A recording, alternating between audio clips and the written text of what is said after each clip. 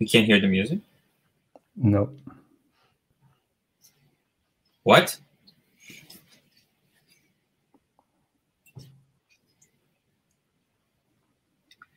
No, the music is definitely playing. Okay. I, I can't hear it. Very interesting. Or maybe it's not playing. Is it playing?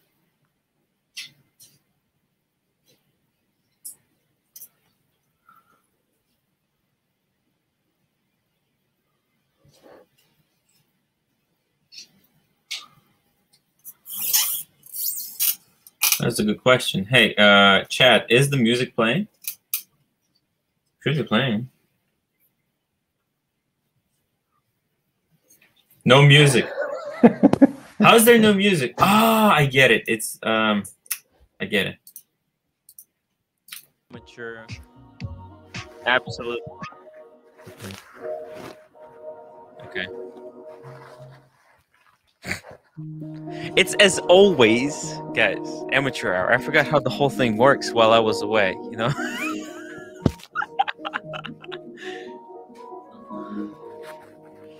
All right, sorry about that. Okay, okay, okay. That's the real beginning right here. Too bad I can't cut that out, but it is what it is. Uh, we're live. We're going to talk about the brand new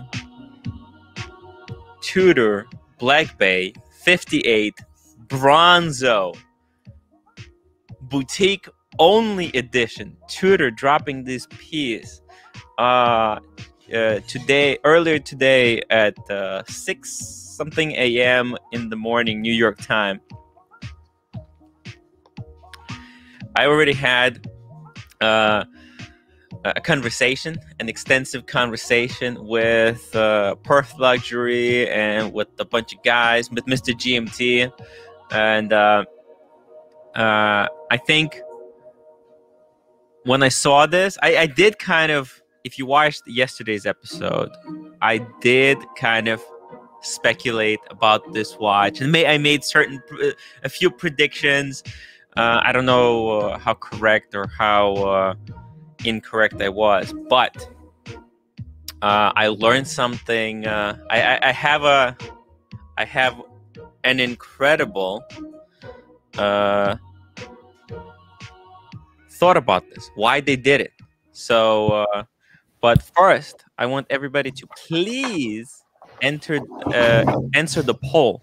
Make sure that you answer the poll uh, in the chat uh, because I want to see what your guys' opinions are on this Bronzo. And I have not Mr. GMT joining me. Hello, not Mr. GMT. How are you doing? It's a disaster. Oh, wow. So, uh, so is it is it disaster? What do you think? What do you think before before I reveal my my opinions on it? What, Listen, what do you? There are, there are many more important things than uh, Tudor uh, watch release. Yeah. Um, oh, really?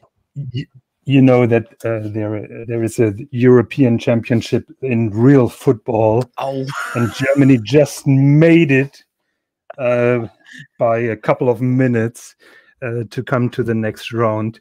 We were almost out, and uh, I'm totally down with my nerves. So this is Jonathan Quayle Higgins or the uh, frog, frog slaughterer and I thought I'd pay a tribute to my friend Mr. GMT tonight.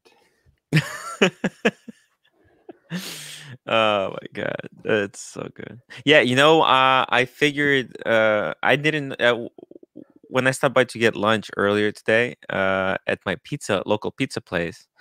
Uh, there was all there was all these people, this whole crowd watching soccer, and I didn't know what was going on. But it's I guess football. that answers my question it's football. It's not soccer. okay. okay. It's true football. gotcha, gotcha. Well, congratulations. Thank you. On uh, it was uh, close. Yeah. Well, that's great. That's great. Okay, let's talk okay. about what. Now let's talk about this Black Bay. Uh, Jonathan. Yep. Okay, Jonathan. Jonathan, what are your what are your what is your gut feeling? What what is your gut feeling? Not not very much. Uh, uh, I'm not feeling uh, the bronze at all, Mm-hmm, um, and I even find the uh, the bronze bracelet now even more pointless. That's Mm-hmm. my take on it. Okay, okay, fair enough. I mean that this is a kind of thing. I think this is what I felt earlier this morning. Uh, let's just go really quickly here through uh, the innovations. Obviously, I don't know if you've seen this, but in this piece, Tudor drops a glide lock. This is we're entering a new. It's this is a turning point uh, for Tudor brand, and I feel like if Omega wasn't afraid of uh, of the what was the, the the ceramic Tudor, I think now it's this is about time that they should be pooping their pants. Okay, because this this changes everything. This is a game changer. A glide lock that's so compact. I mean, this this glide lock looks better than the Rolex glide locks from just you know uh, just kind of a, a a first look. Now, uh, let's see. Let's see what other specs. What do we got? So it's got five years warranty. Uh, your 39 mil case movement is COSC certified, so it's in-house uh, caliber.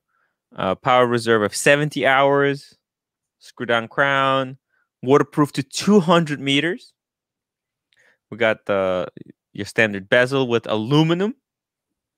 The dial got the 369, which uh, Tudor seems to uh, have decided to reserve the 369s for their bronze releases. Uh, you got the domed sapphire crystal, the new bracelet, which they say has got the T-fit clasp with rapid adjustment and additional brown bronze jacquard fabric strap included. So they're they're going to include uh, a compliment. I mean, they're saying it's a complimentary strap, but uh, okay, it's fair enough. So you get so people will get two straps with this watch. They will get the the full now.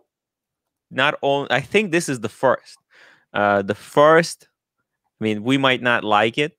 We might not have asked for um for what's it called? The the bronze bracelet. I don't think people were out there waving flags that we demand full bronze bracelet. However i feel like uh, it hasn't been done at least on the luxury level right? This might be the first one. I, I, I, I, believe some micro brand somewhere has probably done it, but a major brand, I don't think uh, Omega is making uh, full bronze bracelets or any other brand. I, I don't know any other brand that does this. I don't know either, but that doesn't say anything because I'm an outspoken opponent uh, to bronze. So Okay. what do I know? No, no, no. I mean, no, it's fair enough. Fair enough. Uh, it, the bronze is not for everyone, and I actually have a theory. Now we need that the music, you know, the the my my theory. Dude, now Tell me, tell me, tell me. now here here's check this out. So my theory and uh, this came to me after uh, we had a, a fairly long discussion on perth luxuries channel and i was trying to understand why would they do this. And my theory is this. They release the glide lock right? But this is an untested tech right? This is the first glide lock that tudor has released now, if they were to put this on a watch that people want to buy, right? The there might be a chance that it's got some inherent flaws that Tudor hasn't able to spot within their lab in you know in their lab under lab conditions. So my my theory is that they did it in full bronze as a way so that you know because they're not going to sell too many of these and they're also limiting it by making it a boutique only edition. Now, by selling just a handful, they'll they'll see what the the customers will tell them. Like what because you don't want to make a glide lock and then it breaks and people start losing their watches and you sold already a million of these, right? You mean just like the like the bracelets of the new ceramic GMTs, um, where the first uh, examples of it fell apart because the welding was not good. Exactly, exactly. You see, uh, you don't want to put the brand new technology, the brand new untested tech on a piece that that's going to go full and think about this and i actually when uh think about this when uh tudor tudor already had this made a major failure with their pep diet pepsis right they sold a gajillion of them and it started having those date wheel problems right and then in order to uh kind of reconcile all the grievances, they had to literally extend warranties. That's why they're doing five year warranties now on all their watches. Was just to basically to save their name. You know, I don't think in a million years they would want to do a five year warranty. Uh, you know, just uh, out of sheer goodwill. I think they were in damage control because of that mistake. Mm. So I think uh, with by doing this, by doing the glide lock on the limited edition kind of piece, they can you know test test it in the real world conditions before uh, making it available for the mass market.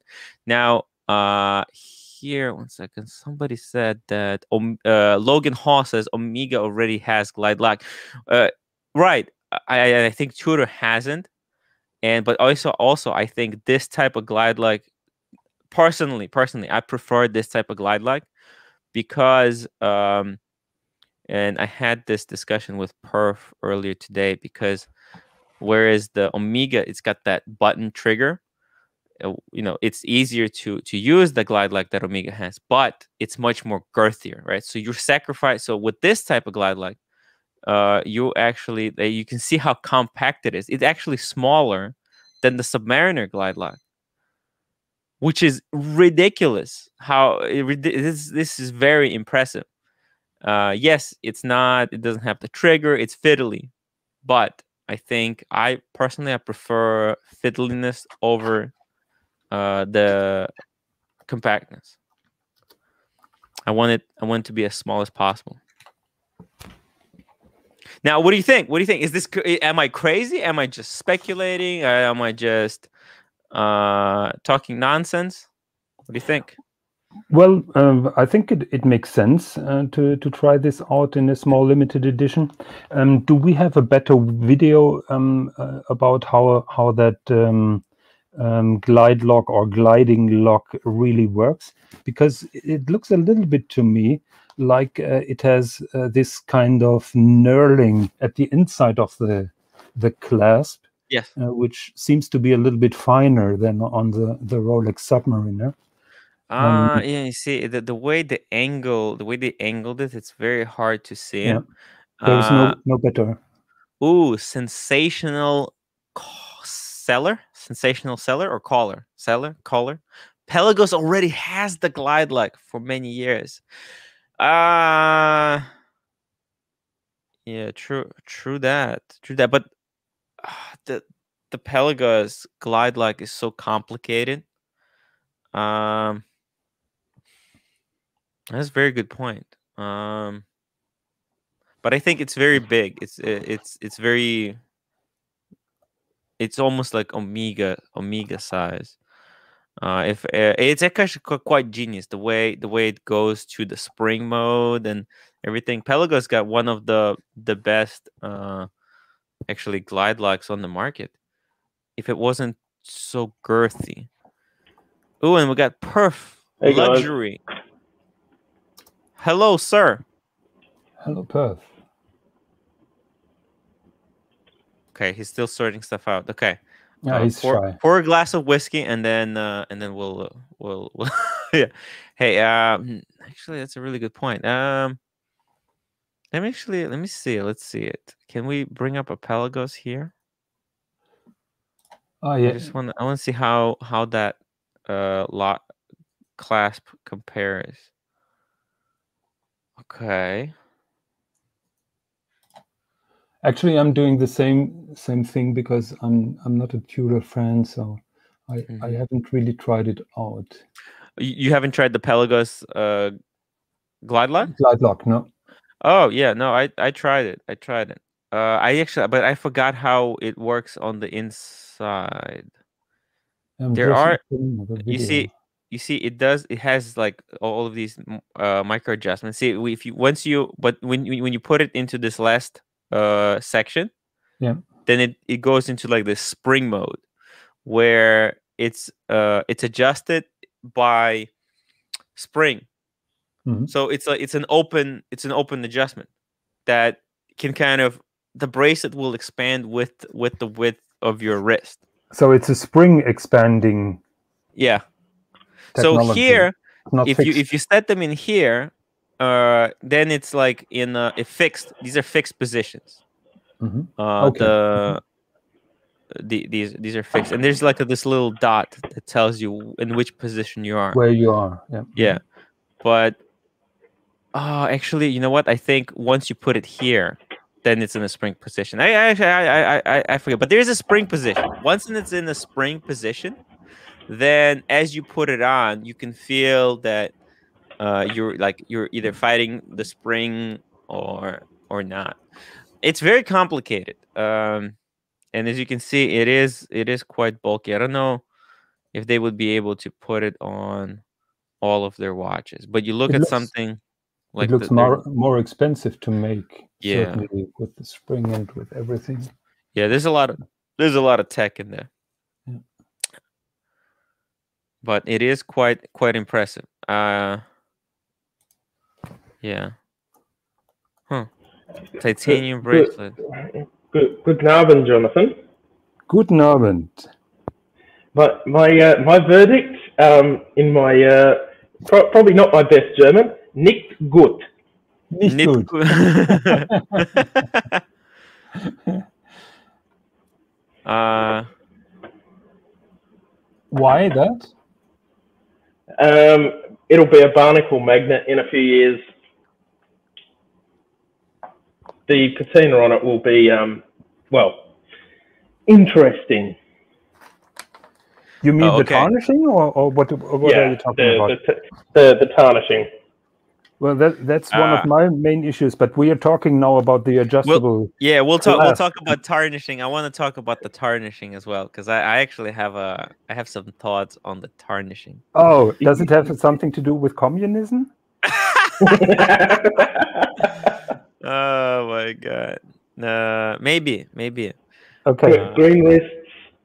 But check this out. So so sensational to be caller. honest, I'm, I'm really curious how you're going to defend the tarnishing. So Oh yeah, yes. So sensa- but okay, like, okay, check this out. So but the sensational caller uh, uh, uh, tells tells us. So basically, this the spring position is only for wearing underwater. I mean, technically, sure, sure, because it's cool because it's very uh good for putting it over a diving suit. The spring. Right, because as the material gets wet, if you're wearing, eh, etc., etc. But here's the thing: so there's for daily use, there's only three positions. So there's three positions, and the fourth position is the spring position okay, on the Pelagos. Okay, but I think like th- that that that that clasp is very technical, whereas this clasp seems to be uh, more kind of uh, more basic for. It's something like this is better. Like they can put this kind of clasp in all of their watches. Yep. You know, it's uh, that's why I think uh like and, and if you think about it omega doesn't have uh adjustments on their brand new speedmaster. Like that's insane. You know the yeah the, the, the brand new speedmaster doesn't have this kind So- of tech. So so did I understand correctly that Omega is um, is selling an adjustable or expandable uh, buckle for an extra charge for the Speedmasters and the Seamasters and everything? but for the old uh speedmasters. Okay, and no, because not not entirely. The racing speedmaster. Yeah. Okay. It's not all of them, and I think the way where that expanding uh, clasp came out of it was uh, the Olympic, like uh, the speed the the Speedmasters. They came that there were Olympic editions that came. They they came with uh, with the micro adjustment clasp uh, by default, Okay. and uh, I think like now they have a, a, a some limited stock of those uh class but i feel like in this modern world that we're living in all watches should have uh uh some kind of easy link technology by default it just I- it just I totally agree, and that is my main beef with uh, Grand Seiko. Uh, Mhm. that they're not able to uh, uh, to do something like that, um, because I'm constantly changing um, bracelet links on on on my watches, yes. Um, just because I'm losing weight or it's getting warmer or colder, and Mm, it's it's it's really ridiculous. And if if you see it you, you know these these very old rolex um, buckles the tuna can um, material buckles uh, they could be adjusted with a toothpick and we, Yes. we shouldn't we shouldn't go worse than that on any modern watch in my opinion uh, Logan Hall says, uh, "Doesn't make sense to put glide lock on Speedmaster though. Glide lock is meant for diving, not chronograph. We treat glide lock as a con- uh, convenience and forget it's No. once a year. That's all myth- mythological uh, I, I, BS. sorry, I I mean, who's using Logan. this, the the chronograph? Are we still using Speedmasters to go to the moon? It's like uh, I, I use them at the Grand Prix, Tim. a what? I use uh, Speedy at the Grand Prix. Okay, but how many people use their uh, submariners for diving? Uh, Most well, my people use it for desk diving. sea- I mean, my, well, my, my uncle used his um, sea dweller when he was a saturation diver simply so he could write off 16 grand off his tax bill. Look, I, I I don't think that every watch needs uh, a glide lock, but I think an easy link is uh, with a, a modern watch should not should should have an easy link, some kind of a micro adjustment. Five millimeters is all that you technically need. Uh, uh, you know, uh, uh, the glide lock is kind of it's a little bit it can spoil you, but uh, easy link, I feel like it's mandatory. It just feels yeah, it just feels like they're cheaping out by not putting uh, some kind of And and uh, please allow me to to go back to the old Rol- uh, Rolex um, bracelets.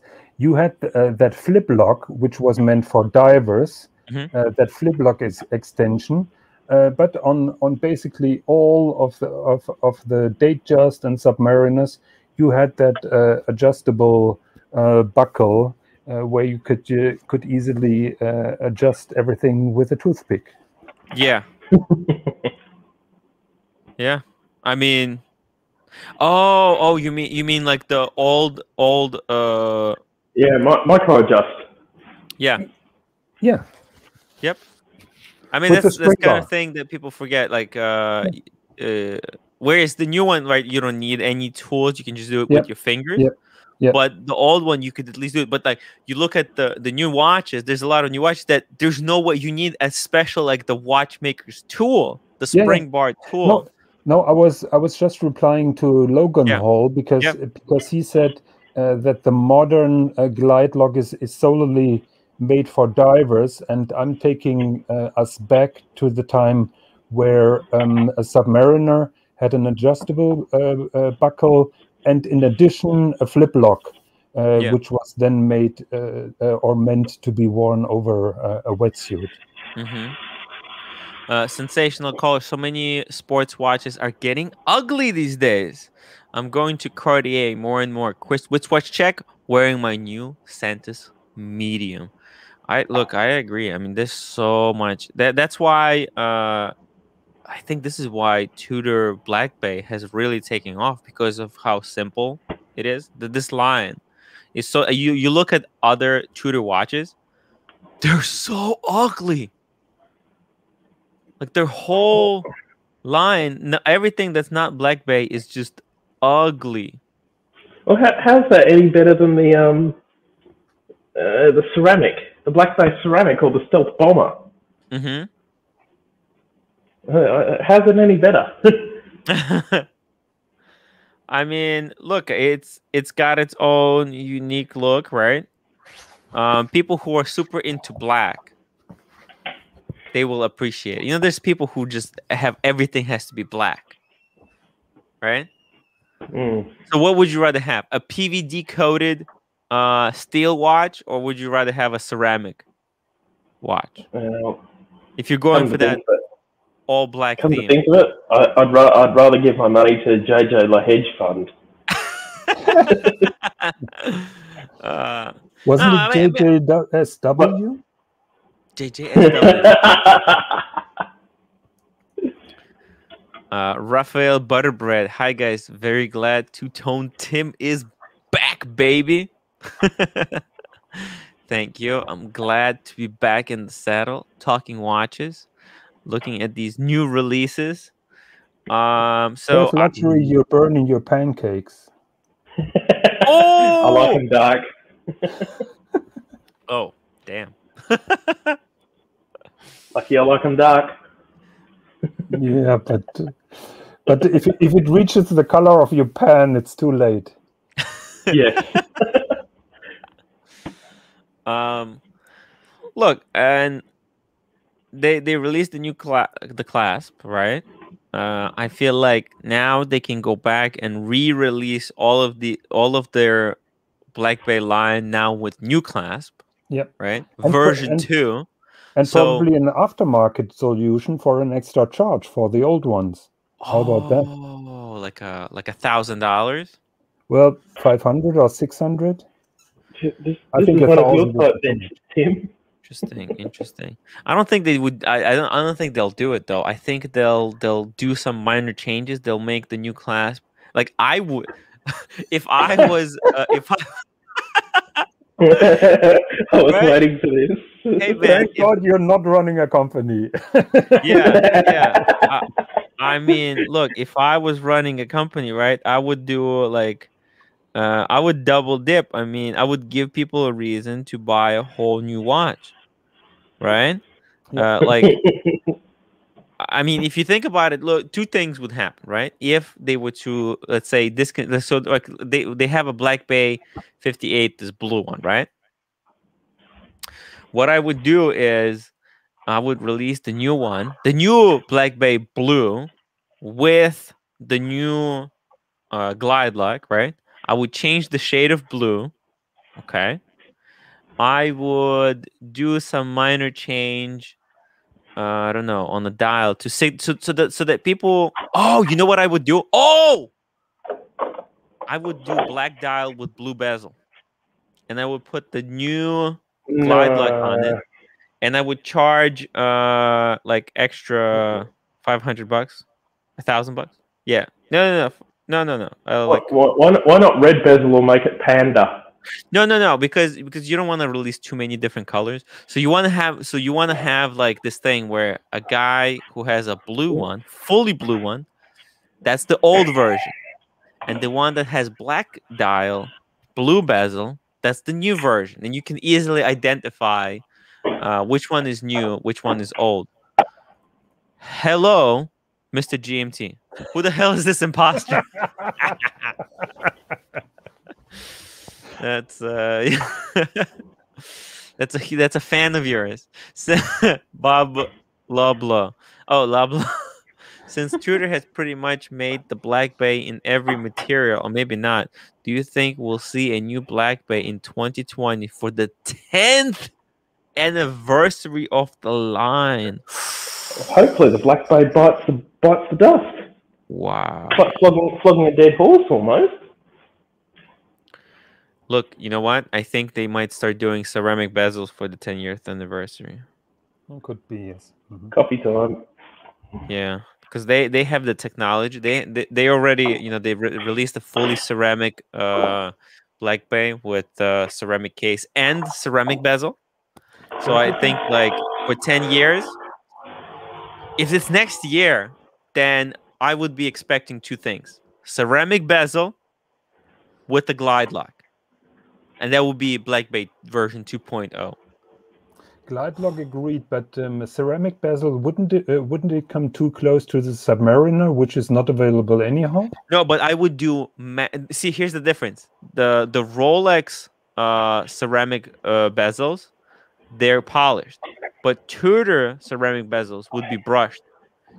Look But at this Tim, I ceramic can bezel. go and get an Omega. I can go and get an Omega which has a cer- ceramic bezel. If they want to take on Omega, they have to play at Omega's level at a minimum. I think. the what? Okay, so Tudor's last thing was clearly an affront to Omega. So Yes. I mean, how, how do they expect to take um, take on? Um, how do Tudor expect to take on Omega if they aren't even going to have things like polished ceramic bezels? Uh, well, I, I think they're going for more like a utilitarian look. Because when, once you start polishing stuff, it starts to look more like a luxury watch rather than like a tool watch. And I think uh, Tudor is trying to stay kind of looking like a like tool. That's why they were using uh, aluminum bezels. And I think I feel like, ooh, with this, with the release of this ceramic, like th- this allows them to test the bezel, how it's going to perform, how is this ceramic going to perform, and they have they have like a whole year now, and they'll see what the feedback of the customers that will buy this. It's like they're testing a bezel on on the ceramic, and they're testing a glide lock on the bronze. And with the 10th anniversary, they'll put those two babies together, and boom, you got the Black Bay 58 V2. I, I personally think if they don't bring out like a steel coke soon, um, I think people are just going to tune out for new releases. They're not going to release another steel, you mean? I, mean, I think if they don't release a steel coke soon, um, Ah. I think people are very quickly just going to go, oh, Tudor new release, eh, nah, don't even Yeah. bother. You will. You know what? I think they have to make a new movement for that, uh, because the the the Pepsi movement is not going to fit into the the Black Bay 58. So I think I have a feeling that they are working on the new movement somewhere in the background.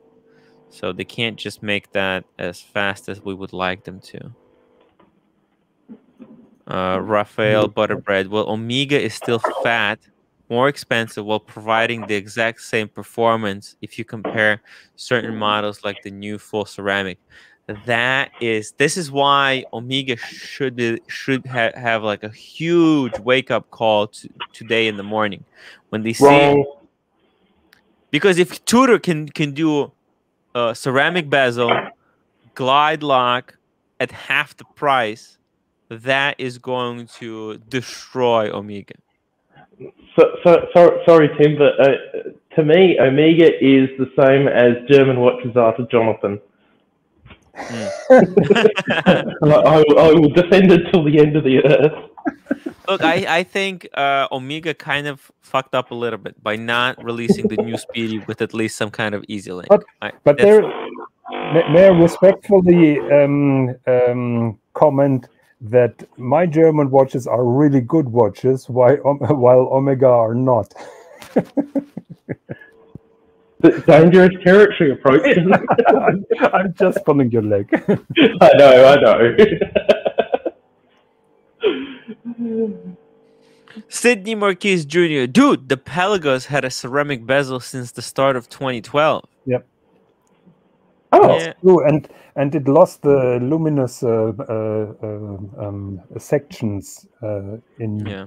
in large numbers, so that didn't go well. Yeah, it's also, but Well- also the the well, this is this is ceramic, right?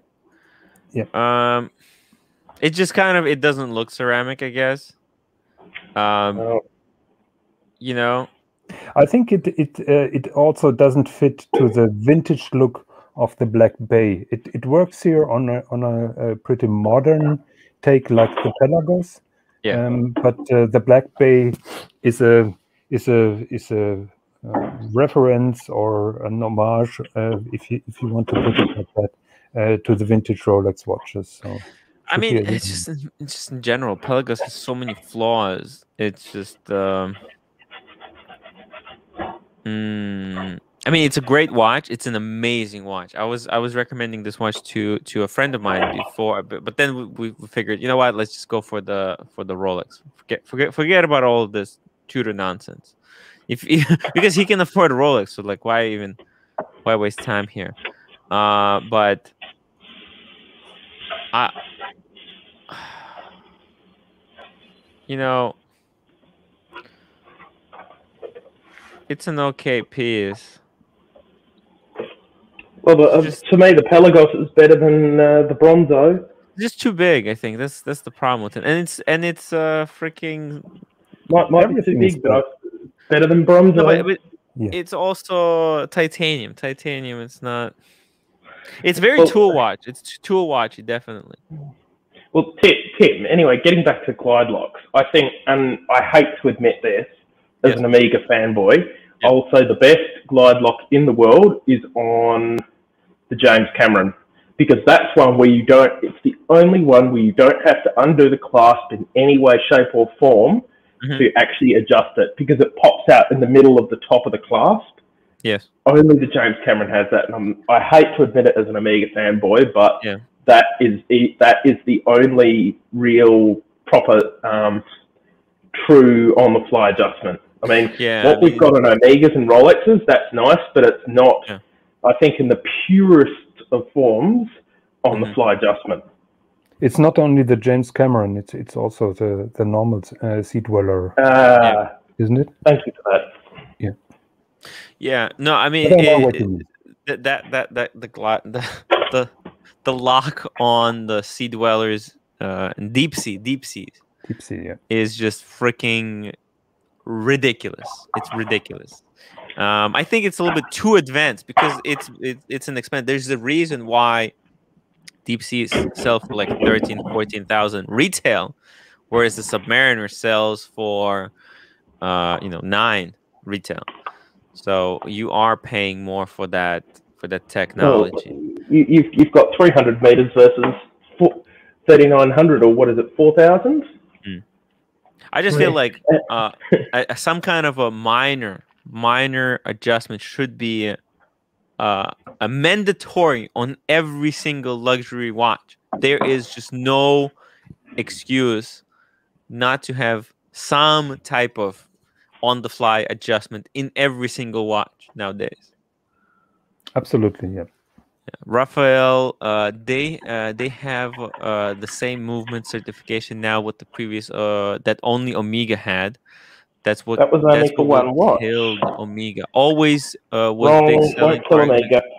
I mean, look, I, I think going forward next year, what you will see is uh, Tudor will start putting uh, the the movement that they have in the in the Black Bays ceramic into all of their regular Black Bays, right? And the black bay 58s, they will get the easy link. Uh, so, oh, it's gonna be rough. That's going to be really rough. Uh ACTC this bronze Tudor blows Omega Seamaster 300 bronze gold. Oh yeah. Out of the water. Both of these watches Oh, even look similar in color tone. Have a look to them. Yeah let's uh let's just put them side by side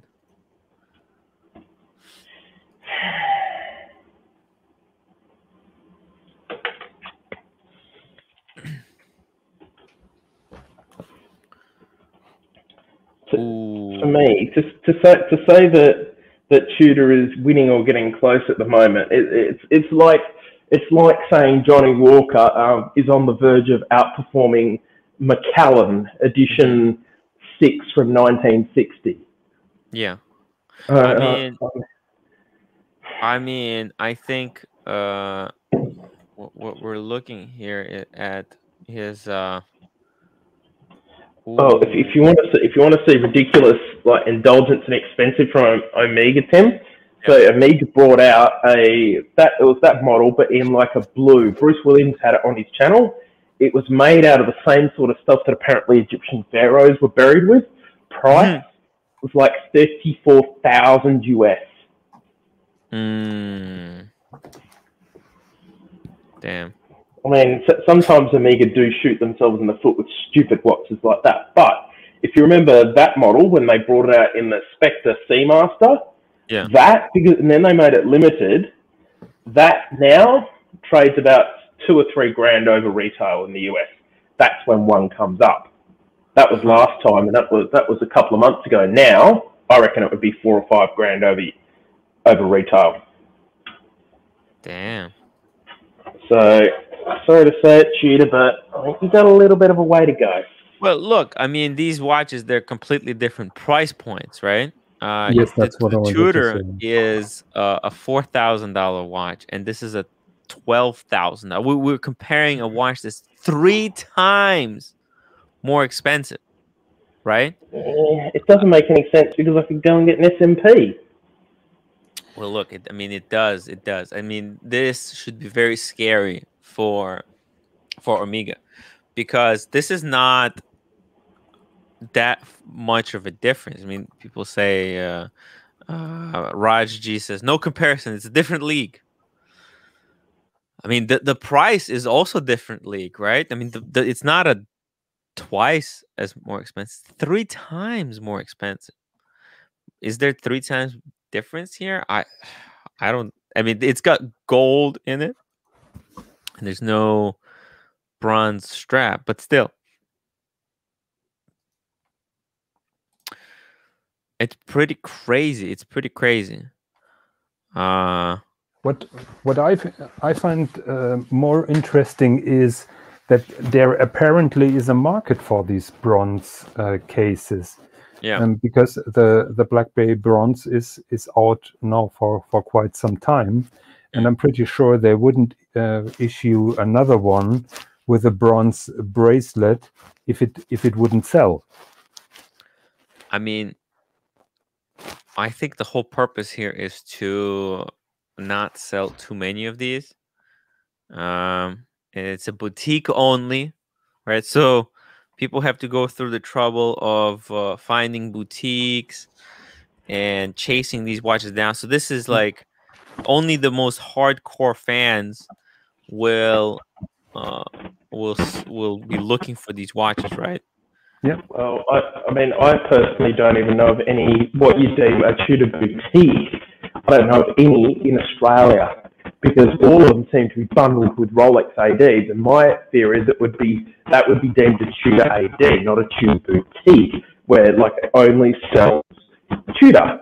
Earth, what happened to And- your audio? Sorry, What Your happened to your audio audio? It very really it got really shitty. really? Yeah. Uh, I'll mute and I'll fix it. Boo hoo. Okay. Um yeah, and that's the question. Like what is a boutique? Where where does one find a Tudor boutique? Is does Tudor have enough uh, you know, sway in the, you know, does the brand matter enough to have to deserve a boutique? I mean, it's pretty it's pretty crazy. And actually you look at it in this nat in more natural light and it doesn't uh, it does look different. Uh, look at that. Oh, look. Um, there's this is purely for hipsters. Hipsters love these bronze watches, right? There- There's also people who have like you know the EDC people, EDC people. There's like these EDC people that that want to have everything bronze, right? They have a theme theme everything either black oh you can see a, a piece of glide lock over there uh oh i think we got a sneak sneak preview Yeah, of what there, it, there's a kind of ratchet. Uh, uh, yes you can see here look at that Oh, see that there you can see the grooves the Yep. grooves in the in the glide lock and this is you can see there's a spring here yeah, which Uh, presses probably that part down on on the on the grooves. mm-hmm and you can see there's screws very interesting you Screws can and see it rivets, uh yeah very and you can see a double spring bar.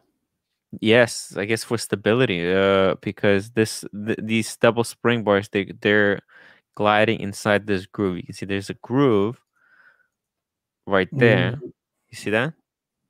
Yeah, There's or a groove drilled into the kind of side of, the case.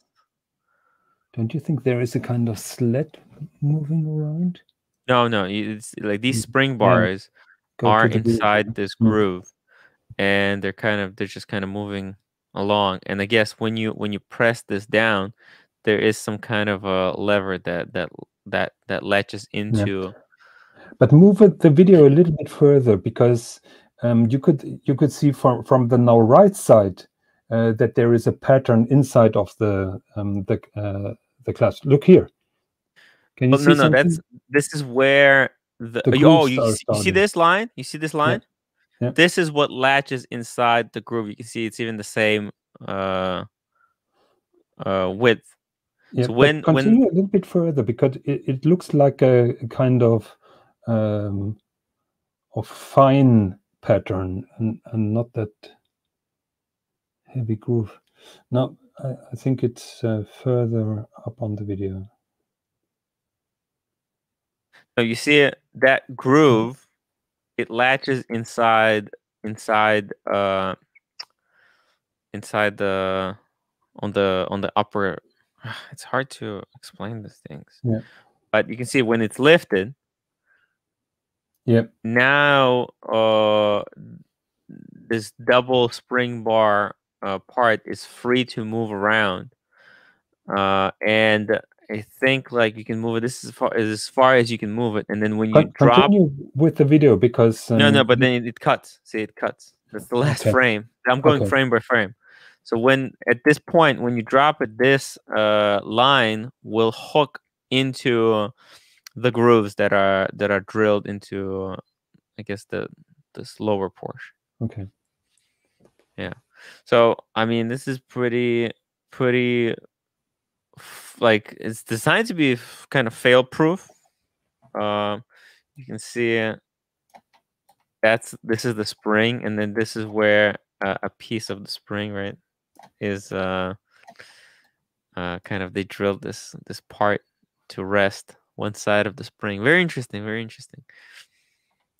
Wow. Hmm but they did keep the same kind of this thin part here. So there are uh I, I i was actually i'm not a big fan of this smaller see on rolex uh this side is full width. Oh no actually it's not full width. Oh. Okay so on on the rolex it, it's the same here but this lever that allows you to lift uh the to open the watch Yeah. is full width. Okay, so but here it's only this tiny, tiny little one. I need to go downstairs now to grab my submariner and, and see what you're talking about. But I believe that that you're right. Yes. Yeah. Uh, duh, duh, duh, let's see. Uh, uh, Aussie expat. There is a Tudor boutique in Dubai. Ah, BBB Black Bay Boutique and Aussie Express. This is a mini glide lock. Yeah, it is a kind of a mini glide lock because it's got the same uh, expansion uh, as the glide lock, but in a much more compact uh, size. All right, so I it may be difficult to, to wear over a wetsuit like that because uh, the the adjustability is um, is quite limited. So it's basically more a comfort thing than a functional tool let's be- diver thing. Let's be real. Nobody's gonna be wearing these over dive suits. uh, Agreed. Particularly No. in bronze, Yeah, which which brings us back to the tarnishing. yeah. now, exactly. Now I wanted to talk a little bit about the tarnishing, and you know what? Okay, now I'm sitting back and just waiting for your argument to unfold. Look, I think, I think that tarnishing. When you think about tarnishing, it is a it is a question of your of the wristwatch philosophy, right? I think we have been uh, these the all of these watch brands. They have been on a mission to create a watch that doesn't age, that doesn't changes, that that preserves its look forever, right? Uh, like that's this is the reason why people don't want the scratches. I mean, that's the there's a whole almost people everybody wants the watch to be in minty minty minty minty people don't want a single scratch to be on their watch there's so everybody kind of a lot of people value uh the pristineness and the look of their watch uh when it's scratched and dinged and yeah people shocked. really hate yes right? Like people hate but if you think about it these are just they're just arbitrary. Like it is arbitrarily to value uh the mintiness of the watch.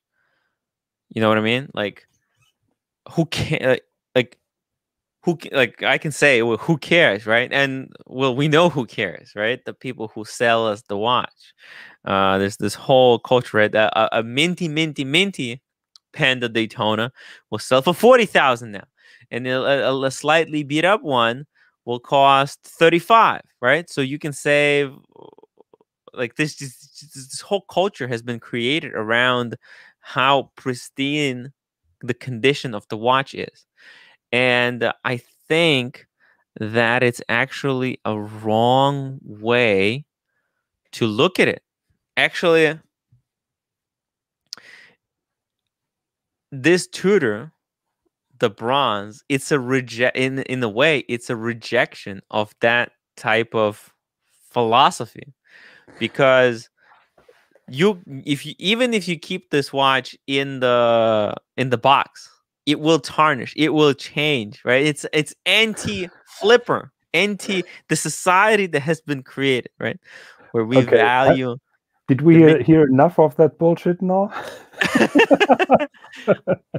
I think, I think that we are going for a flip. I mean, I know, I know, uh, uh, Jonathan, that you have been on a hunt for a really minty, minty, minty Pepsi.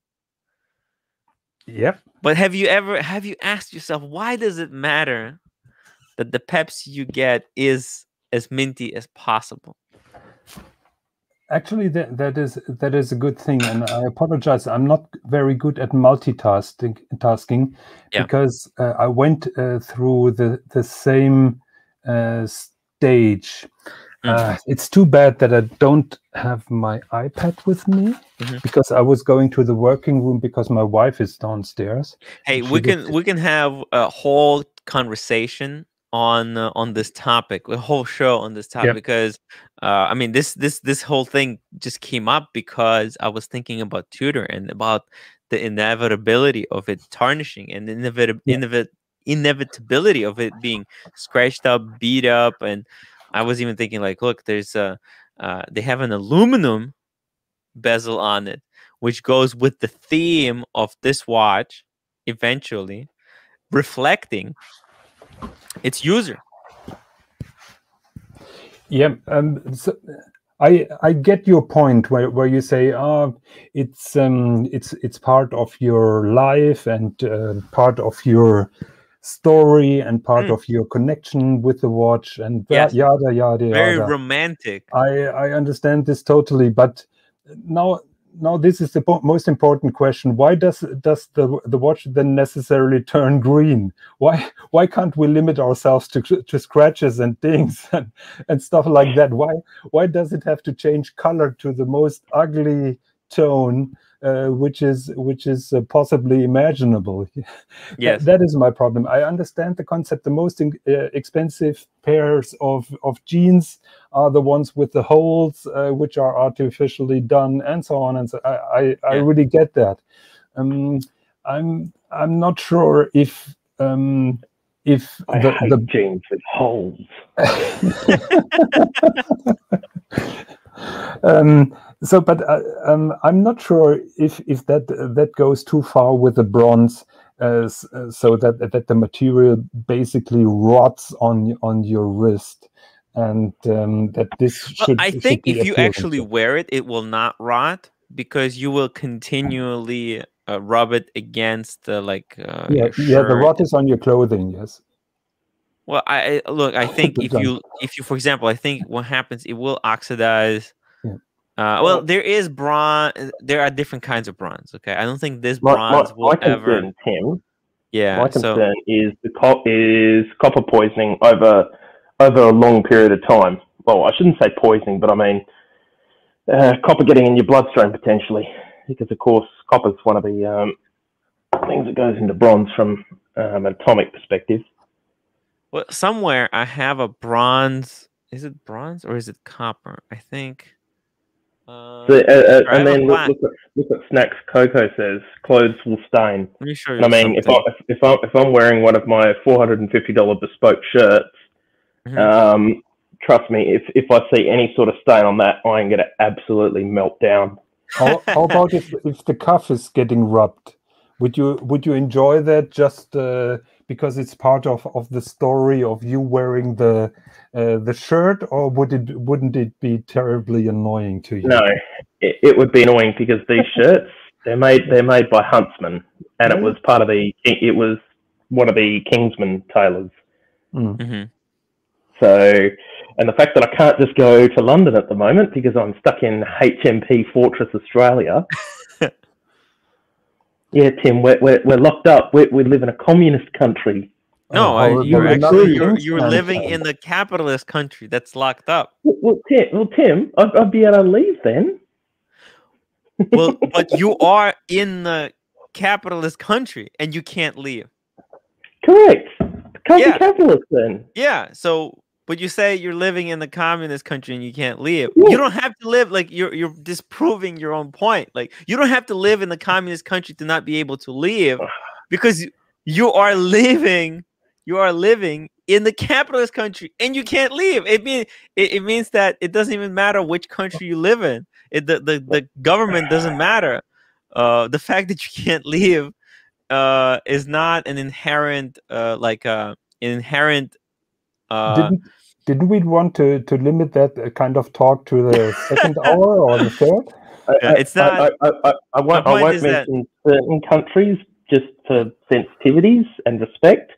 But Jonathan, I think you know. I think you know what I'm saying without me saying it.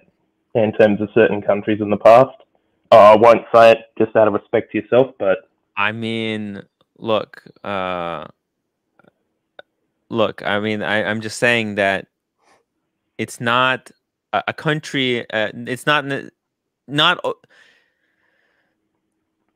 Can we It's go not. back to the It's not a rule of communist countries that you can't leave them.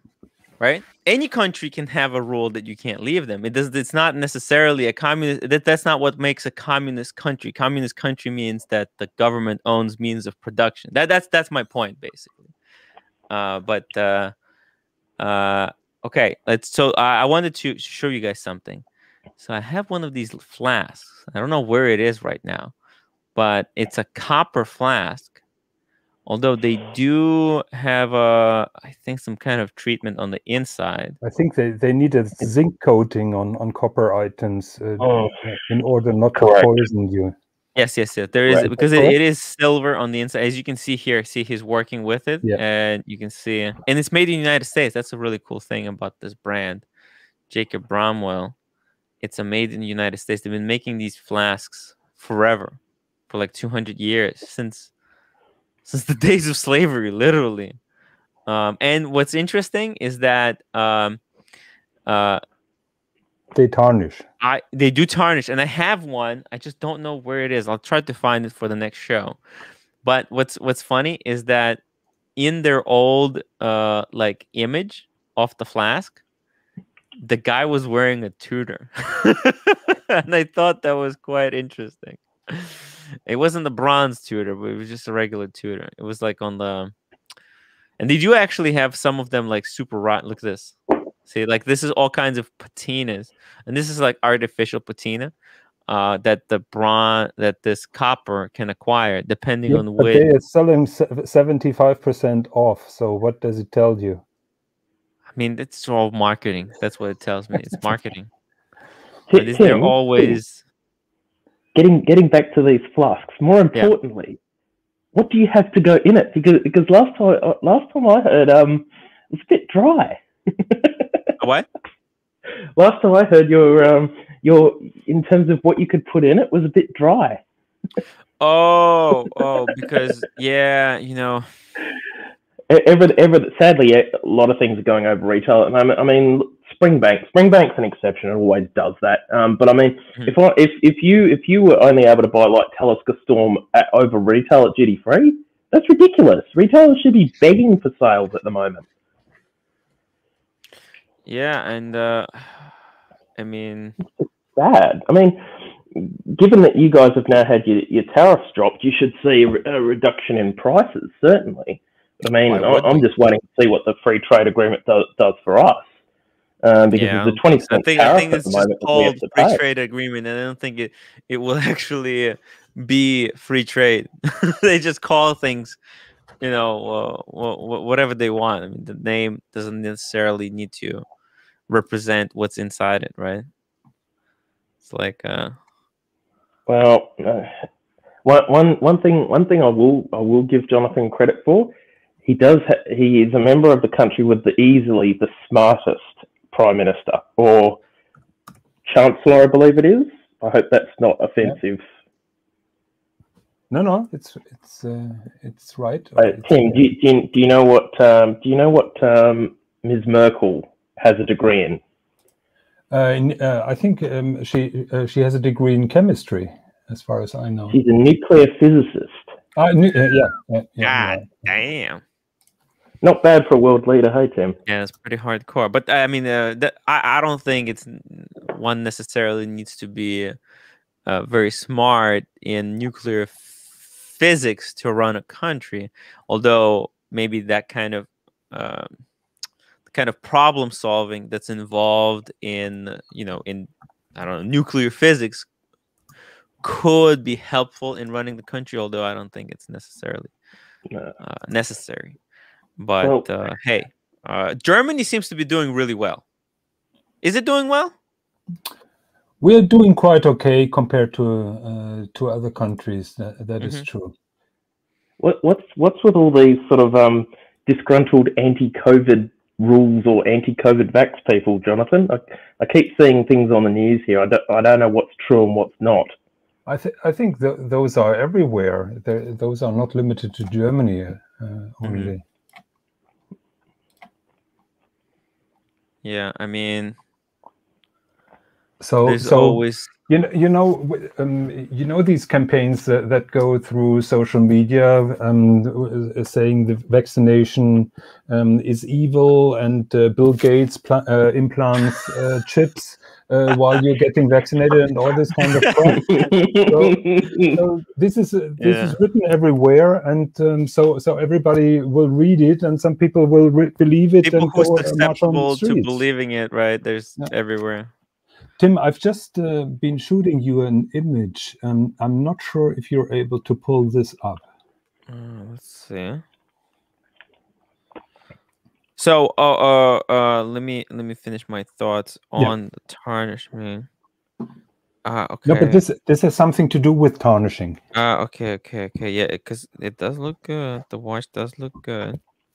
Okay, so uh so my my thing is that you know, I'm not a, I'm not a flipper and I think since the beginning I have mentioned that I do want to get my I can't wait to get my Explorer 1 scratched up on the hikes uh so that it kind of uh will reflect my personality. I did get, I did get a nasty gouge in my uh, Panda.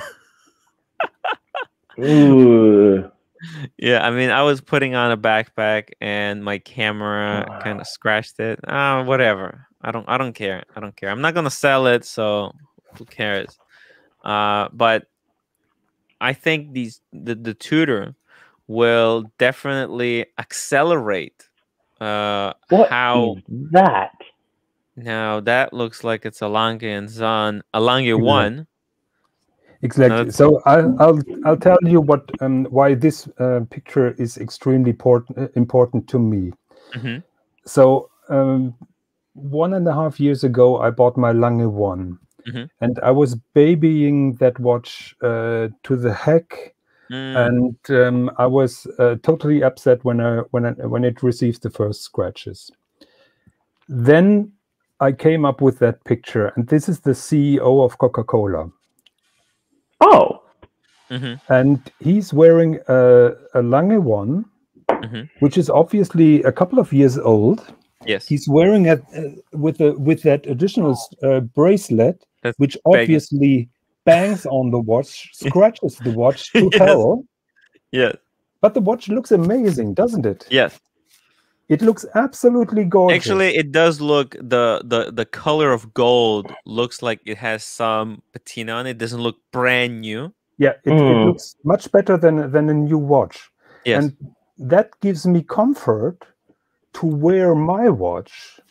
Not not with this kind of bracelet, but not to worry about uh, getting the, the, the watch beaten up or scratched or dinged or whatever, uh, because I'm, I see I see it from this uh, watch that they they still can look gorgeous and absolutely fantastic. yes. And I'll tell you what, um, uh, in February 2020, I was flying to uh, to New York and back to London. And on the plane to back to London, I met uh, my my seat neighbor was an older guy. He he's an attorney from Connecticut. He must be quite rich, a Porsche guy. And he told me. Then we started uh, talking watches, and he has uh, he has a normal uh, Rolex, and he told me that he has a president in his safe, a day date, Mm, and he's keeping that watch for better times or for uh, for special occasions. okay. And he was 84, Ooh.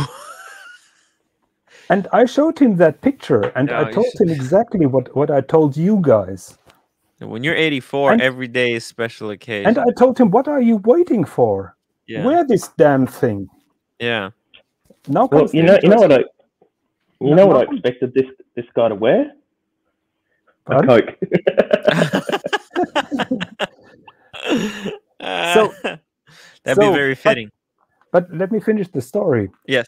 So we we had that conversation at the t- uh, at the first two hours of that flight. Mm. Wh- uh, then uh, everybody went to sleep, and when the uh, the plane approached London, uh, we were both awake. And then he came to me and said, uh, "Look, uh, I I gave it a thought. What what you told me about wearing my day date, Mm. and from now on I'll wear it. And I Mm. would like to thank you for for having changed my my mind and uh, for having changed my opinion about this particular watch." And he he shook my hand, and I Oh, wow. ease. What was he wait, what was he wearing on the flight? Um, actually, he was wearing just an Apple Watch. Ah. Yep. Wow. Yeah, and he um, actually he uh, he flew to London because his wife was already there. One of his uh, sons uh, received a newborn baby, um, and uh, so he went uh, to see the baby for the first time. That was the reason why he went there. I get it. I get it. Yeah, man. Look, uh, and, and so so that's exactly my point. If you have this watch, and I think, I think, why actually, I, I actually, why do I really like this new Tudor? Because it, it actually, it made me think about the perspective about how, uh, about our kind of, what is the human relationship to these pieces, right? Are are we just holding on to them? And do do we want watchmakers to make watches that will not scratch, that will not take, uh, that will not like patina, that will not take on the, any kind of character, that will always look minty, minty, minty, minty? Is that the end goal? Do we want that? Do we want watches? that have these materials like the sapphire glass that doesn't scratch, the sapphire bezel, the, everything, everything uh, that that doesn't cannot, Unscratchable. Yeah, unscratchable, untarnishable, completely uh, something that can uh, cannot take on any type of character of its wearer. Do would would would we want that? Is that the end goal? What do you guys think? I mean, would you would you want a Rolex watch that you know that that doesn't scratch at all? Yes. And I'll tell you why, Tim. Because what is the motto that Patek believes in? where with regards to selling and owning watches. You But- you aren't owning it; you are just minding it to hand down Yeah. to the next person. Yeah. So I would like that philosophy to continue with, say, Rolex or But- Omega, But when you think of like, let's say, something that's going to Uh, last forever. let's say you pass on, but but the, here's the thing. Let's say two people uh, have two watches, right? How how can we dif- differentiate between? Let's say you and me bought the same watch, right? Uh, the, our two watches are identical, right? And then we go through Mhm. life. We go through 25 years of life, right? And at the end of the 25 years, when you pass your watch on, let's say to your son, etc., I give my watch to, let's say I have a, a daughter in the future, something, right? I give mine, and they both look minty, minty, minty. Right? It's not like I'm not giving in the in a way. It's almost like I'm not even giving my watch. So there's nothing that makes my watch my watch and your watch that makes it your watch if they're completely unchanged, they cannot be scratched, anything.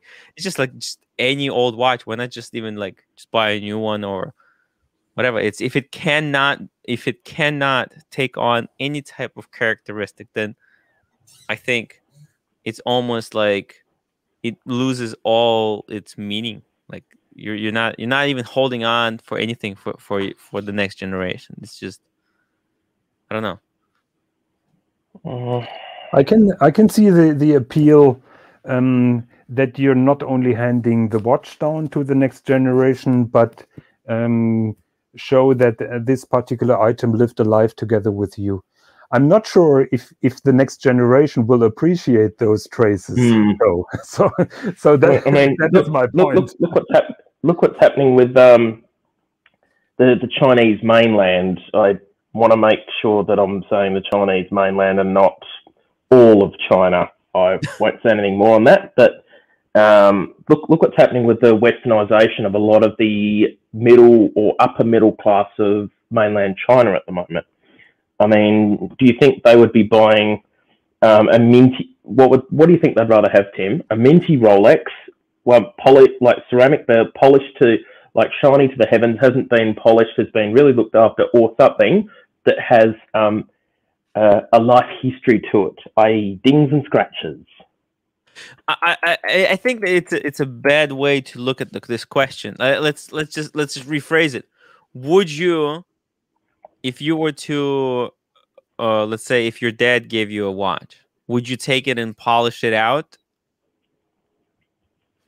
Depends on how bad it is. If if there are any sort of life experiences on it. Well, let's say he he told you like, oh, this is where I oh, this is this is I got this scratch when I was in World War II, and this scratch I got when uh, when I was uh, when Mama doing hit this me with a super slap. Would you? Yeah. Would you then go and be like, "Fuck all these scratches. Let's buff this this sucker out." Like, who cares? You got. Oh yeah, you got that in that war. Well, whatever. Would you? Would you erase all of that? Because like, look, I'll tell you this. I I I I have a like a ding in my Explorer too that I got in fr- in France. Oh, I remember that, yeah.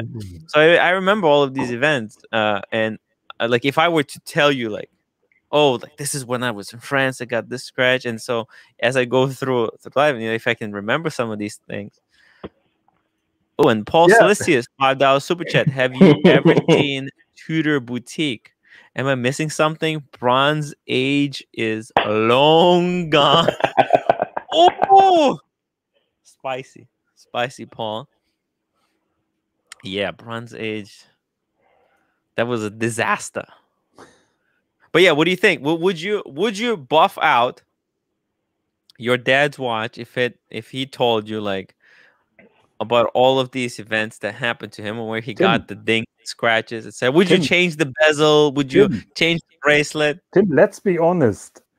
Most of the Rolex watches or even Patek Philippe watches that are handed down to the next generation, younger people, 18, 20, 25, 30, Mhm. they are getting sold. They're, they're just turning them, them, them round for a quick buck, in my opinion. because they have no appreciation for Yep. horological art. so so that's a reality Mm. So uh, it's an it's a nice thought i i kind of understand the thought from your side Yes. and from from your perspective and from from the one who is initially buying the Patek with the aim to hand it down to the next generation. Um, but uh, that is a fantasy, uh, in my opinion, in 95% of, of, of the cases. Well, no, I mean, I think it's ninety nine point nine percent of the Same cases, with- right? with Everybody wants everything to be well. Yeah. Now, well, well, if you think about it, back then, right? Everybody wanted to everything to be replaced, uh, new. That's why there's there's so few watches that have original parts, right? Yeah. It's a new kind of obsession with. But the thing about this this obsession, I don't think it's that healthy. Like what people are just just wearing their watches so carefully, babying them. Uh, you know, like God, forget forbid I can I I will get a scratch on this uh, uh luxury piece, right? Like that's not healthy. I I don't I don't know how I would be able to live with myself if, if I had to be so careful with my watch as not to get a single scratch on it. That's not a life. I'm I don't think I'm I can more- live like that. I'm I'm not uh, so paranoid uh, about scratches anymore. What I'm paranoid uh, is that but- that that people constantly polish their watches and Jonathan, and you are like Uh, you are one of uh, one out of a million. Like Yes, but we are most people are completely audience. obsessed. We reaching here an audience of Right. 1.5 million people. So my mission to them is don't polish your watches. Actually, let me start a new are poll. scratched. Let me actually do a poll here. So let, let me I didn't answer the poll in the chat. Please uh answer it in, Yeah. uh, in the What- next what- one minute because I will take it down. I want I want a new poll. I want to ask people. can't, I can't wait to hear the about- results on this one, Tim. So, uh, by the way, check this out. the The results actually flipped significantly. Uh, when uh, when I first launched the poll, what do you think about the new Bronzo? Uh, it was a disaster. Was like at forty percent, and now it's a winner. Uh, thirty-two percent people think that the new Black Bay fifty-eight Bronze is a winner. uh, Twenty-two percent of the people are not impressed. Uh, 23 people 23% people say who is this for and 23% think it's a disaster. So i mean it, it's still it's a 70% of people that think it's a bad idea and 30% of people who think it's a it's a good good idea. So I, I I, think- I, I, the I main think it's reason I think it's I think it's now time that we take our hats. Yeah. because the opinion has flipped. oh you know what? I cannot do a second poll. That's interesting. Eh, eh, i'm limited to only one poll per live stream Communist YouTube. Oh wait, no, no, I can do it. Did you see that? The results have Wait. been have been tallied. Look at this. Uh, the results just came out. Now let's do one more. Uh, do you, uh, baby, your watch? Yes, no. Uh, okay, let's just do yes, no. Just to keep it simple. Uh, I have a confession to make. So with Yeah. with the Omegas that you now buy, you get a um you get a like a I don't know some sort of velvet pouch or something, and you get some sort of card that you can put between the case back and the underside of the clasp. Hmm. Um, like every every time I'm at the gym, um, when I get on a treadmill, um, the watch goes in the pouch with the card in between the case back and the bottom of the class. So I fess up, plead guilty to one count of babying watches. Ooh. You know, I, I think like uh putting your watch in the watch pouch, it I, I wouldn't consider it as babying the watch. Uh, you know, like when you're not using it. I have one of those Rolex pouches somewhere. I don't know. Oh, it's in my in my camera bag. Well, that's, I that's, think that's that's just another like- reason why Omega's better. You don't have to send it into a send it in for a service to get a pouch.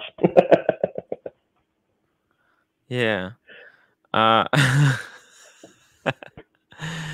uh, uh, okay, guys, make sure that you answer the poll in the in the chat, uh, whether you baby your watch or you don't. oh, sorry, I'll have to get onto YouTube rather than StreamYard. Uh, yes, yes, yes. Otherwise, I won't see it. Make make sure you're not screwing up the the audio while doing that. Very cool. Mm. Look, I think uh, there has been a perpetual. I mean, look, it is an expensive thing. Obviously, you should care for it, but I don't think that uh, just some people just go way too crazy uh, in you know taking care of their watch.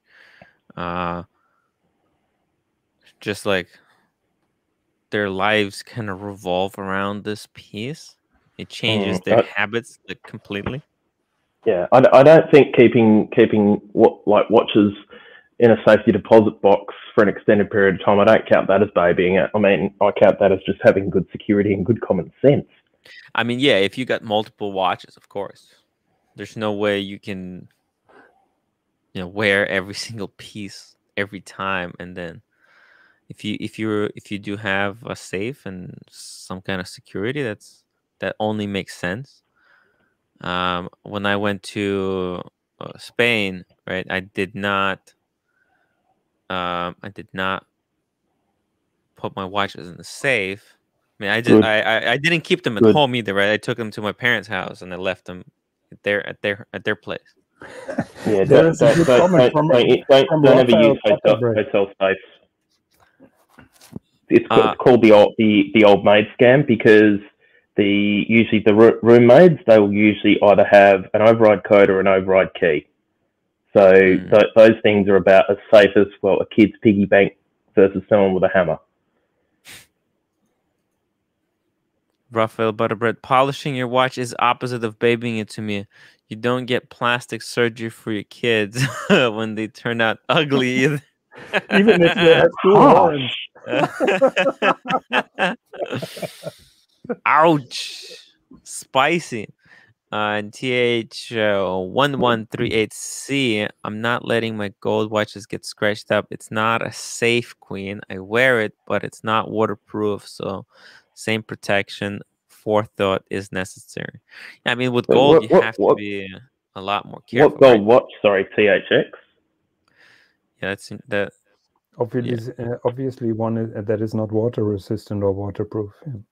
Yeah, I mean, look, uh, it's one thing uh, if we're talking about like steel sports watch, and uh, obviously, yeah, uh, he's talking about Patek three seven nine six.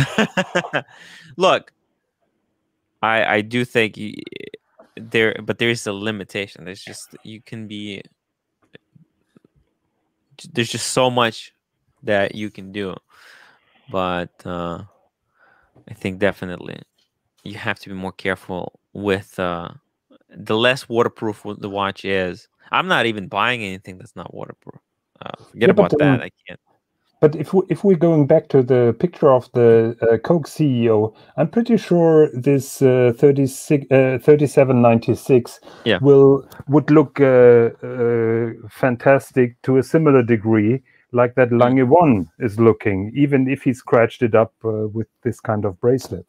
Yeah, no, I think look, it will impart uh, also some character on it. Um, I I think I think though I don't think he plays like tennis in it, right? Shouldn't do that, no. Right. So that that's where I say like uh there's certain things that you can do with a gold piece that you you know when you're doing some activities that are not designed for that watch you shouldn't wear it. Like I I, I wouldn't I wouldn't wear a, if I had a, let's say a, a Lange one, I wouldn't be wearing it to the gym or right. Whereas I do wear the sub and and the Explorer, right?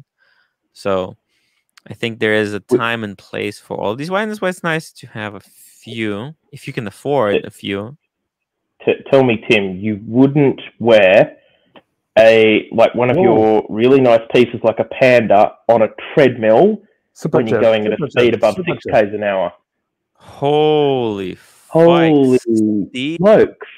B, 100 smackaroonies. Wow, found out found out nothing is on my wish list at the AD months after I asked for some pieces to be added. decent What? purchase history, two tone, diamond, silver. Never asked for anything special starting out. Been friendly Yeah. and left good reviews. Do I talk to the manager or just go gray? Talk to the manager for a Talk start. the Make them manager. aware of the Yes. situation. Give them the chance to correct it because that way, if you then did post an updated review, you've given them the right of reply, so to speak. Not only that, not only that, you have to say that you made purchases here. Uh, otherwise, Mm. they they might. So if you talk to some Yeah. sales representative that doesn't know that you had a uh, purchase history, uh, then uh, y- you know they will not be able to honor your purchase history. So, for example, I'll I'll tell you the story of my Explorer 2. When I got the Explorer 2, I came in to buy it, and I said, "Oh, uh, I'm looking for an Explorer 2," and they said, "Sorry, we don't have anything in stock." It wasn't until I said, "Like, hey guys, I I purchased here before," and I showed them my watch. So you should be wearing the piece that you bought from them Correct. when you go to the market and you you have it to them and you have to say uh look i i purchased this watch here uh you know you can check it in your history uh i Correct. and you have to you have to have a list of like watches that you want uh, to buy uh obviously uh, when you should Correct. when, you were buying those proves you're not a watches yeah, yeah, exactly, exactly. When you were buying those two tone with diamonds, right, and the silver, uh, you should have been, uh, you know, uh, telling them that, that you are looking for, let's say, steel sports. Uh, but you have, it, I don't think it should affect it. Uh, and you also have to uh, ask them what was the salesperson that you bought them from. You have to know everybody's name in the AD. Uh, you just like that is a super important thing uh, and you want to make sure that they know your name so uh, go to the salesperson tell them that you you have a, uh long purchase history here and uh, tell them which wa- watch you want and you actually you have to have a reason to why you need that watch. For example if you have a, a two-tone Datejust right? You want to say like look summer is coming. Uh, i'm looking for a steel watch you know i cannot wear gold all the time. I uh, i need uh, a submariner uh, no date. Uh, i am you know i i'm a customer here. I bought watches before. Uh, i'm you know uh, i bought it from this this or that salesperson. Uh, and uh, yeah and you and you and you tell them. And and knowing knowing the the manager or the store owner is super important. In fact uh i would go out of my way to find out who like i know uh the manager right? And uh sometimes i see him i i wave hello uh, i show he he'd be like i sometimes i walk past the store and he's inside right? And i would wave and then show which watch I'm wearing. So, or sometimes he's asking me like, "Oh, what are you wearing today?" And I'm showing like, "Oh, today I got my Panda on, or today I got this watch on." So you do. It is paramount. It is paramount to know, but you you don't want to come off as a as like a kind of a Karen, you know, like I want to talk to your manager this is unacceptable. You don't want that. You you want to be super cool, No. super friendly. It's a misunderstanding. Uh, they uh they definitely, um, you know, you you want to be just super cool. You want to be super cool, super chill. You have to give them chance. There there might be you know with the with the coronavirus, uh, there's have been a lot of stuff happening, so you just have there- to. There's, there's another way to play for Steve. Um, one way that I've considered, if you are if you are cunning enough and don't mind stepping over to the dark side, and are prepared to look through grey market websites near that AD, find try and build up a list of watches that have been flipped from that AD, and then. I'm not encouraging it, but you can um, use it as Mm. persuasion material when dealing with the AD. Perth, I'm I'm not sure if, if Yeah. everybody is, is like that. May, may I add um, uh, one one bit of advice which is really important to me?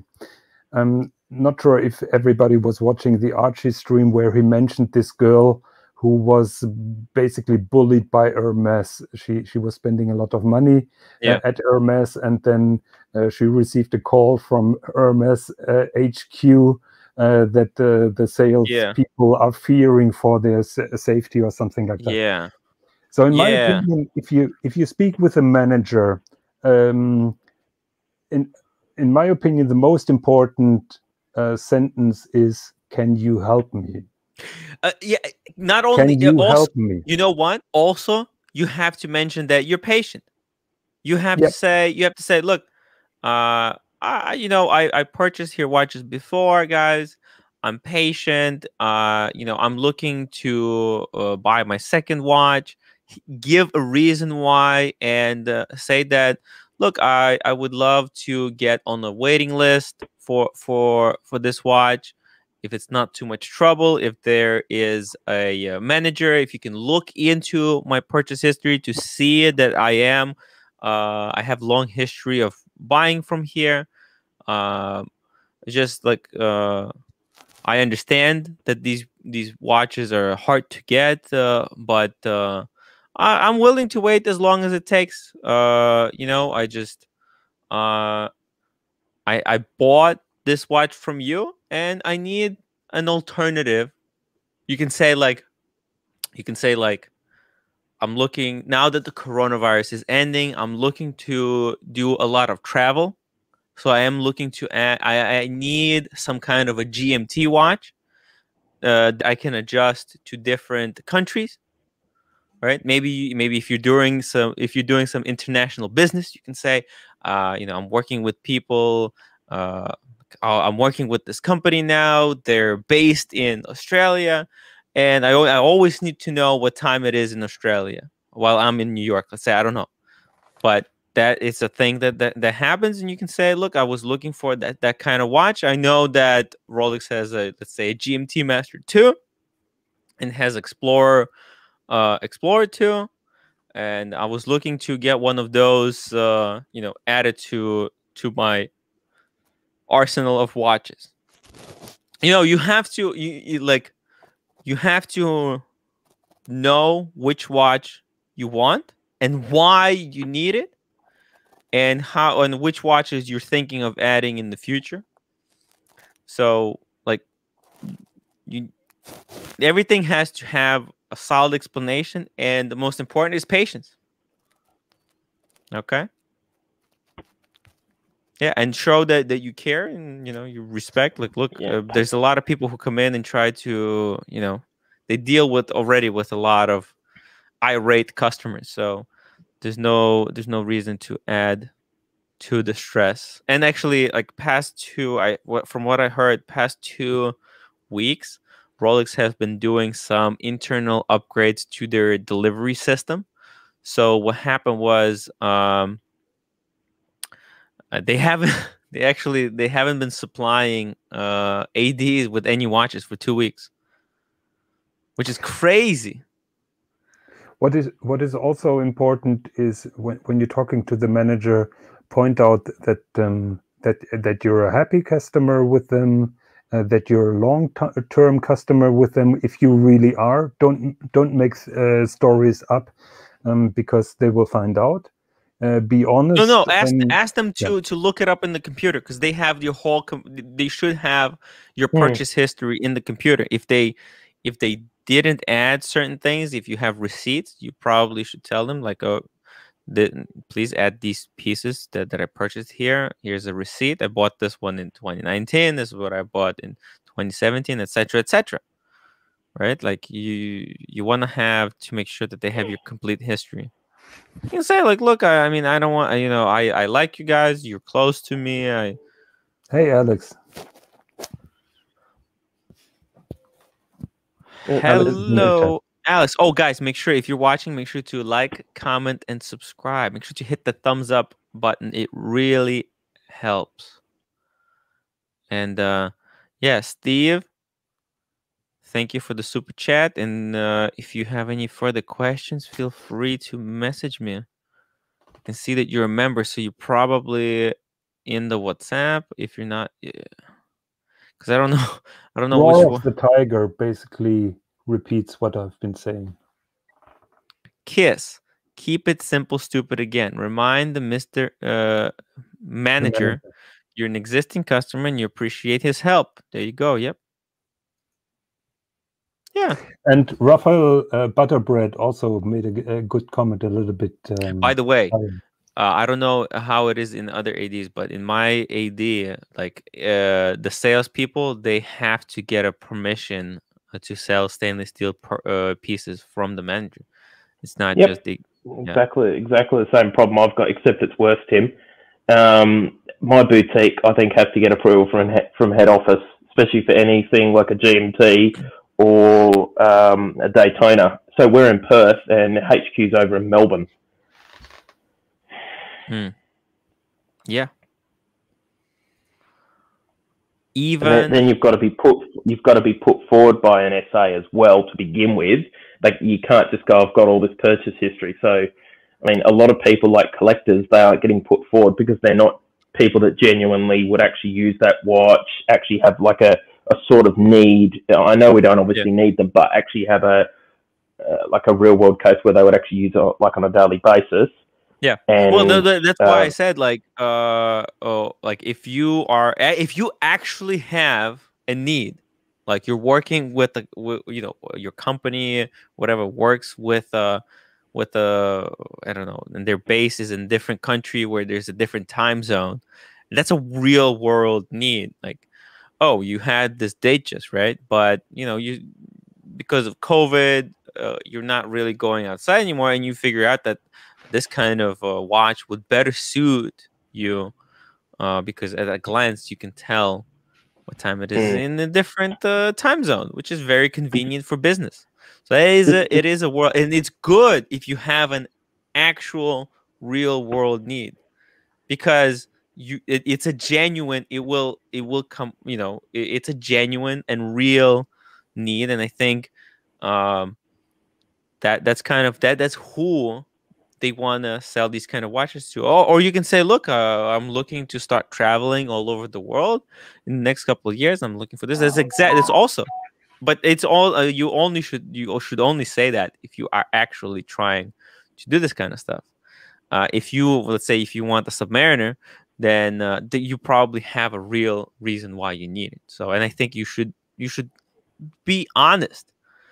Uh let me let's just read this chat. Evan hogan camp my ad stopped selling rolex at the location nearest to me as rolex wants as rolex wants to be the only seller of their watches in downtown chicago rolex boutique will uh rolex boutique will continue to sell at location in suburbs Just sorry if I can just jump in for two secs, just because that's really piqued my interest. Evan's comment because he's in Chicago. Mhm. Tim, do you remember what happened in with Rolex in Chicago recently? What hap- oh, oh, oh, oh. CD Peacock. Oh, yeah. Oh yeah, I, I Well, seriously you know what? I hope think they I lose think actually that that's why because it'll be a Rolex wants warning to do it. flippers. I think that's why Rolex wants to do it because when when they do when when Rolex has their own let's say boutiques, right?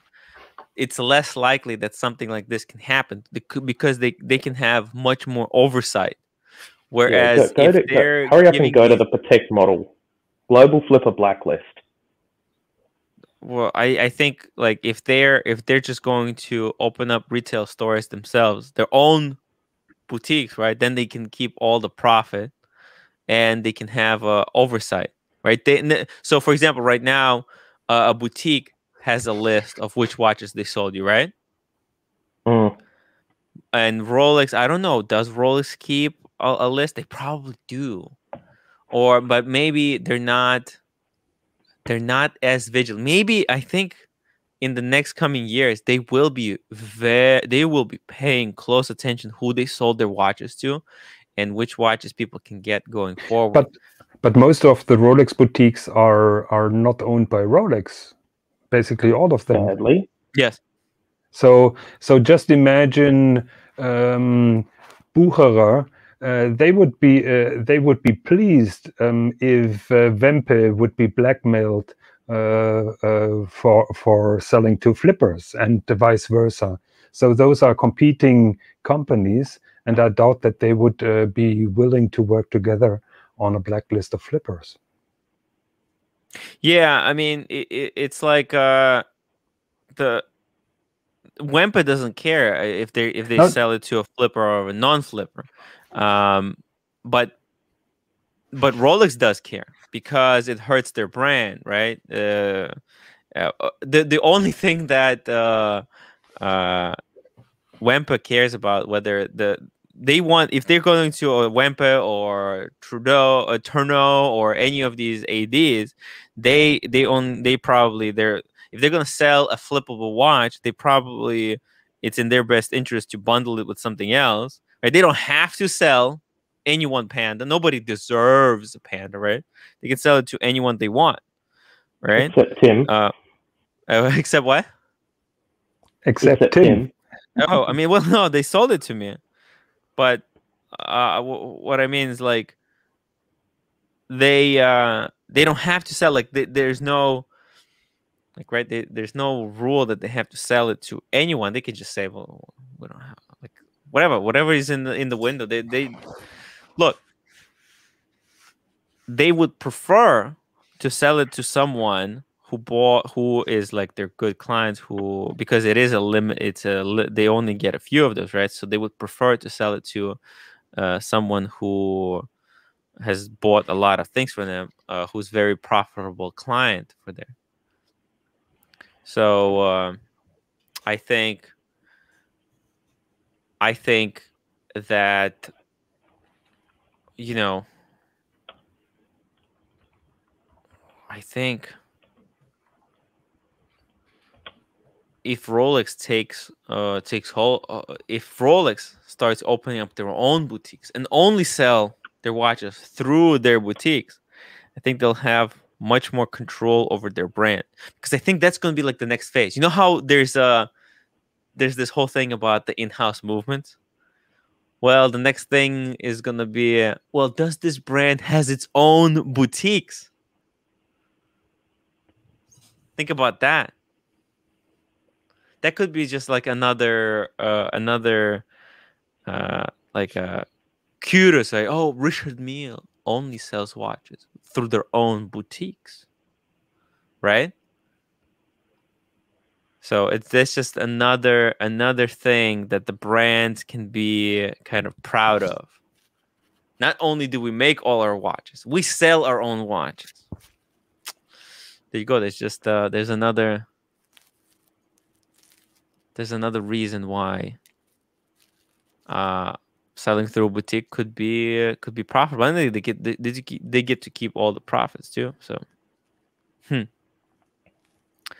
Uh, Roar of the Tiger, but the obstacle to a boutique strategy as described is the high cost of commercial real estate in the major US cities, LA, Chicago.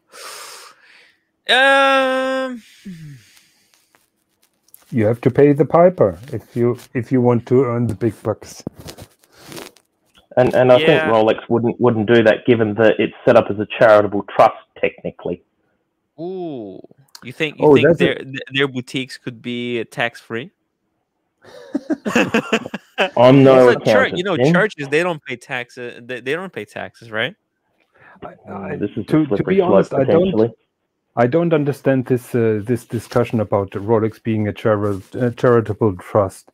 In my opinion, that that doesn't change a lot. It just changes uh, the outlook uh, of the management, which is not focused on on on uh, on the results of the coming quarter or the qu- uh, coming year.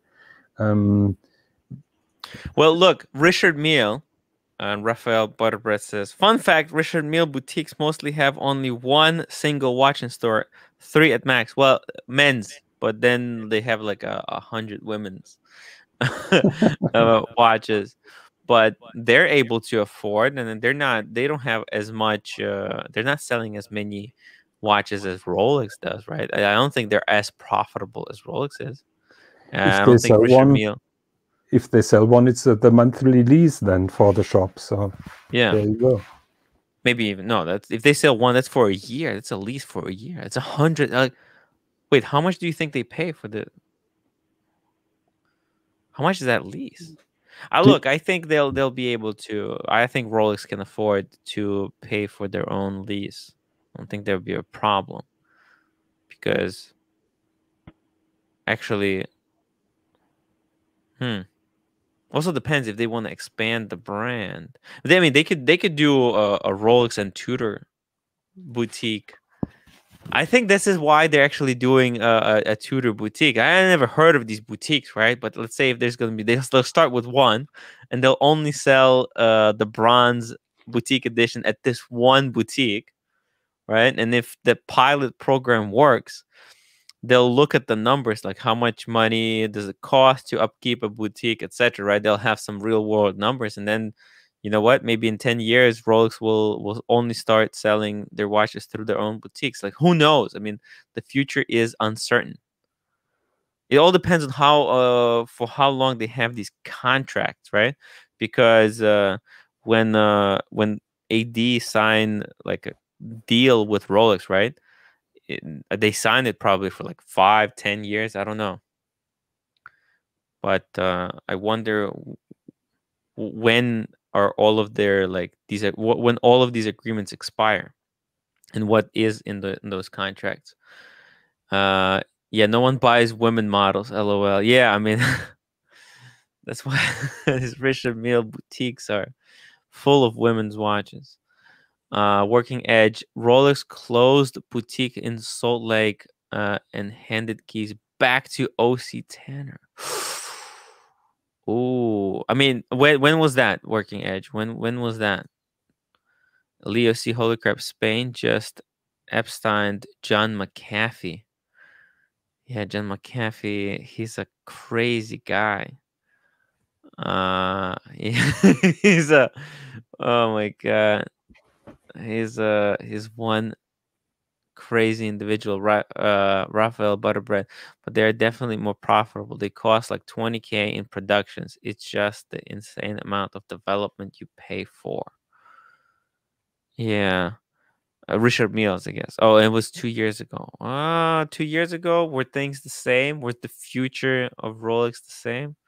Who knows? Very interesting uh, Roar of the Tiger, American universities, their hospital and medical schools, all not for profit corporations. All, if not most, have major holdings in real estate, e.g., NYU and NYC with Can Lagoon Home Depot. Yeah.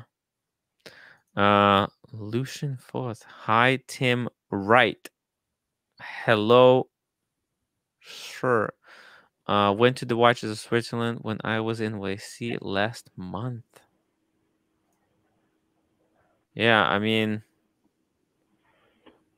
I wonder. I wonder if people will care if the watch. I mean, this is where AP is going, right? AP AP now is boutique only. All of the AP watches are now boutique only. News to me. I mean, I think I think that that's their goal. I'm not sure if there are still some small retailers, but uh, they mostly achieve that goal of boutique only. Yes.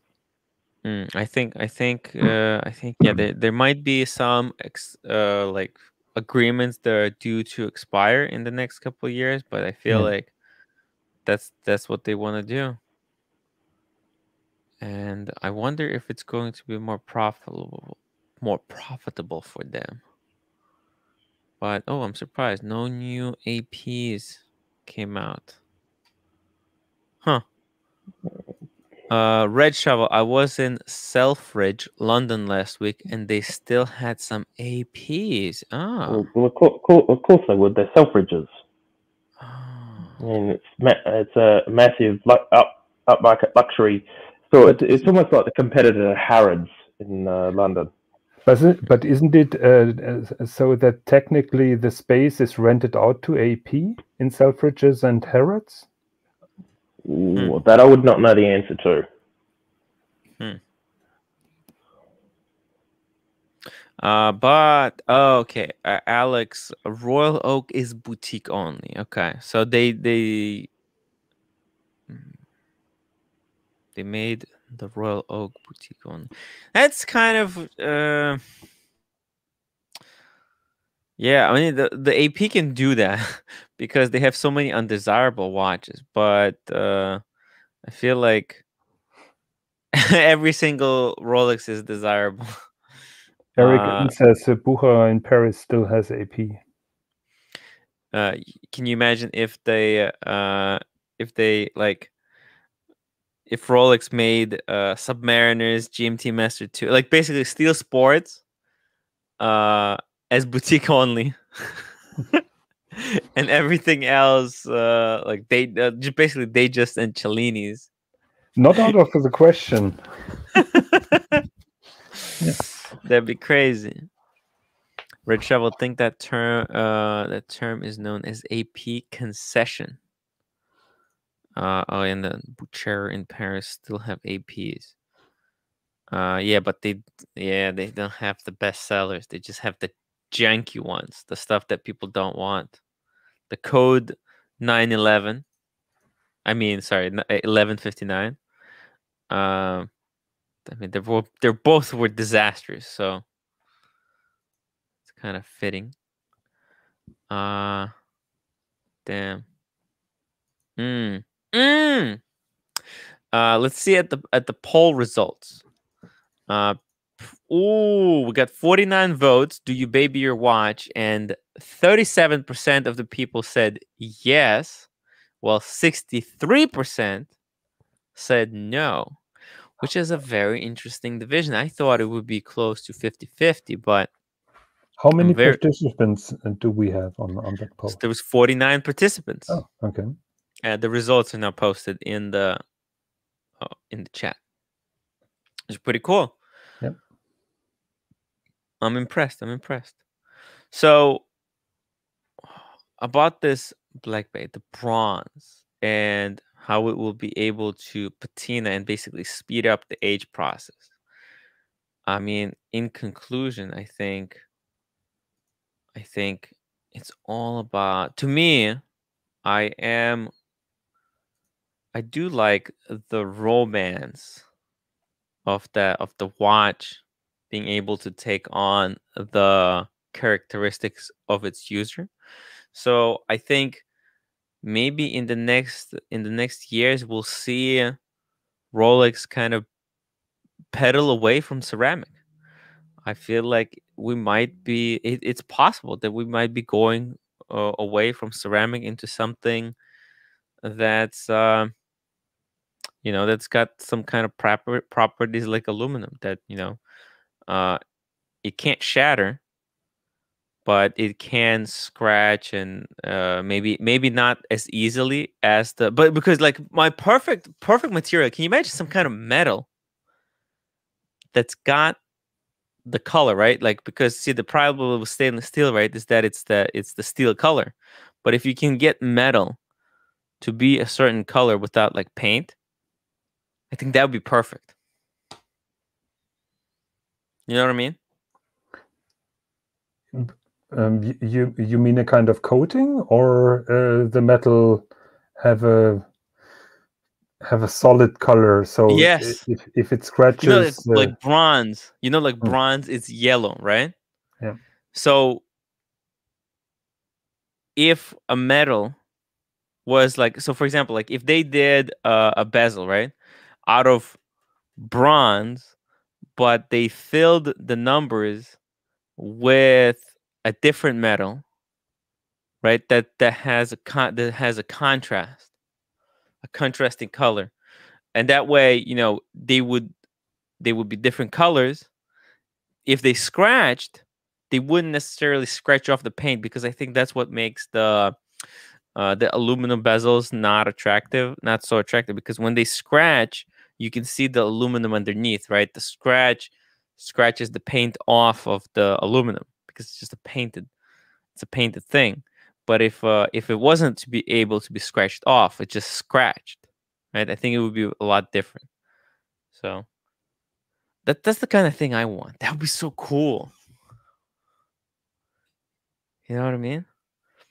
But there's not that many metals that have uh kind of proprietary colors you they would involve it would involve some crazy science imagine ma- making blue steel Holy shit. That'd be crazy. You want blue watches? Like I, I think it would be really cool. You know, instead of having watches being PVD code, you know how they they can make ceramic almost any color? Yep. Not every color, but m- in many different colors. I would want like I know it's crazy talk, but I would want blue steel or I don't know, green steel. I mean, I wouldn't want the whole watch to be made out of blue steel, but if they made a blue steel bezel, that'd be that'd be perfect. Because that way, you know, the property of steel is they can't be shattered like you know, like the um like the ceramic. So that's my that's my pipe dream. That's my dream. I I wish for someday the science to evolve enough to be able to make colored steels. There are some some comments: uh, aluminium uh, anodized and titanium anodized, but that is missing the point because that that is only on the surface. Yeah, if So you scratch it, off. you can see uh, the aluminium inside. So that's why like I want a, metal to be of a solid color. It- It's crazy. I don't know. I don't I don't think it's scientifically possible. Matt Porter, all bets are off. Customers uh customer and AD conversation. Hey, I'm not interested in buying a Submariner. No sir, madam, but here is a Tudor Black Bay range. Damn. Aluminum. Aluminum, Logan Hall. Aluminium. Aluminium. Uh Jubilee, Jubilee. Hey Tim, Mr. Sh- uh, Mr. Stream. Hey, thank you. I'm glad to be back. Uh and uh glad to be doing R2K. streams. again. R2K uh, 2007 above uh, the Jubilee Jubilee. Oh, Isn't oh. bronze soft? Yeah, no, but the point is is that it's not it's not whether it's soft. It's when you scratch it, will it's just like you're not taking off a layer of paint underneath. So making uh I don't it's I don't think it's scientifically possible. It's crazy. Uh that can scratch off. My Chris Reeves has anodized blue, but that can wear, yeah. Anodi- anodized or uh, painted, etc., etc. It's all it's it's no good. You know, like those uh, PVD coated uh, black watches. Like it doesn't even look good. How can you imagine a black steel? That would be so cool. Black steel, polished, man. Like it would be. It would look so cool. Why not then black ceramic? But ceramic can don't get it. smash. Yeah, that's why. Yeah, but but if you smash your watch uh, on on the bathroom tile, it uh, it doesn't look good if it's a steel or gold watch. No, I think it does look cool because I, I don't mind the the scratches on steel, well, but I think it would be really cool to have black steel that that's scratched out. Ah, it'd be so cool.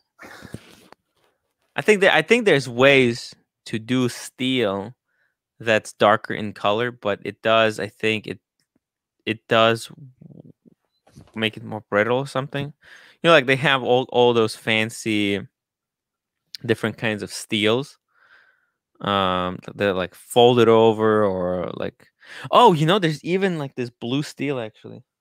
Hold on hold on. I have this my uh the the chris reeves knife that i bought from jj it's got some crazy colored steel or some kind of metal it's got these layers the- there is a there is a good comment from Damascus or something. R2K uh, 2007, Mhm. and he's exactly spot on. uh ancient men invented steel because bronze sucked uh yeah i mean look i don't think it's the same kind of bronze as we had back then but you know what? Uh some people say that the the steel that uh people were, were making in like medieval ages was better than the steel we have now uh because they were really messing around with it uh more. Uh, who knows? Who knows? But Uh, bronze looks good at the start, turns into a murky mess. Yeah, that's kind of what happened to my flask. It looks pretty bad now. Um, yeah, but but if you rub it, uh, like enough, it does start to take off the that murky patina, and it does reveal um shiny shiny undercoat. I wonder, does it take off like layers of? Huh, that's that's weird. Like when it patinas, when you rub it off, does it like take off like some atoms of uh, of this bronze? Of course. Shit. So basically, so can you eventually you will be able to rub rub the rub, rub right through the bracelet? It's crazy. that's, that's gonna take a long time, I guess. Yeah, I'll take I'll take but like someday you you can you can do that. That'd be crazy. Yeah. Wow. Uh Jubilee Jubilee, yeah, not uh, my sort of style too, Tommy, but can't they just do a white dial Black Bay 58 and be done with it? Jubilee Jubilee, you have to watch this stream from the beginning because we did have uh, I you know we did have a lot of speculation for for why uh, I mean I I I made a speculation of why they did it in bronze. And I think you will find it interesting and maybe and maybe even plausible. Rafael Badana, just a century ago, steel was worth more than most precious metals because it was a it was so hard to manufacture. Mm-hmm. Yeah, and I think uh, the manufacturing was uh, a lot more kind of care was put into it because uh, I mean they weren't making these swords that people relied on like life or death. Uh, go to Steel Nerd's website. Steel is far better, superior today. I mean, look, I, I was I, I, was looking at like these YouTube videos, right? And there's these guys, they're making swords, right?